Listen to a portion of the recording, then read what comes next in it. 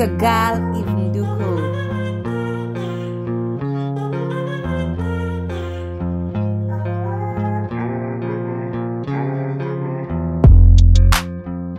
Guys welcome back to my channel. I welcome all the new subscribers to my channel and all the returning subscribers to my channel.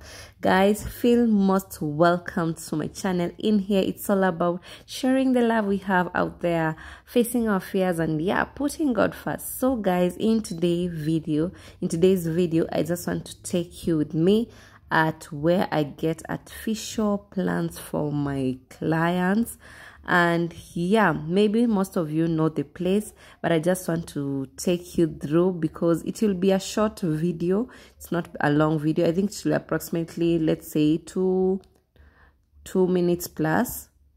And yeah it's just a simple video. So guys as you can see there i've already boarded the vehicle and i'm heading to the stage market uh, the good thing about this place is that uh, you can get a variety.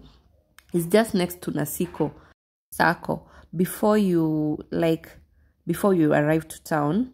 But if you are coming from town, it's just next to like it's almost um, close to the bus station where people most of the people get uh, vehicles from those bus big buses, the old bus station.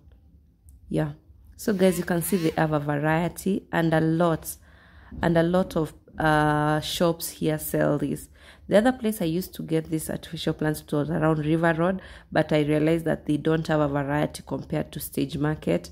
So this is a nice place whereby you can like come and buy. You can also maybe do business with this because as for me i i have to come and check for the prices and then i now from there is when i do business with my customers.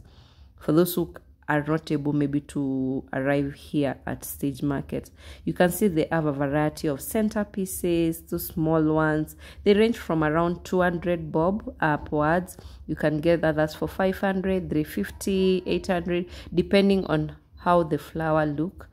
And you can see all these are after artificial so for my client he really wanted a big uh, flower vase the artificial one. And you can see he went for this and yeah it's a big one. I i, I love the detail. I love also the